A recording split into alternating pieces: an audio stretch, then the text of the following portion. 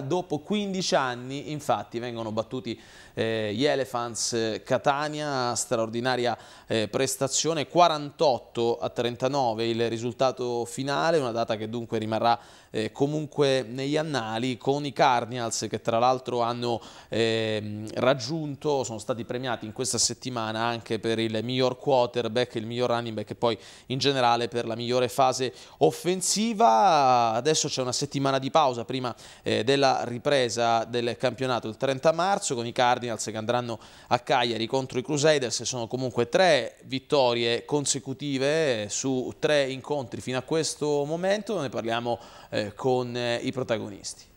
Grande partita dei Cardinals che dimostrano che il football è spettacolare e che fino all'ultimo secondo si può fare qualcosa e qualcosa può accadere, nel bene e nel male. Forza Cardinals.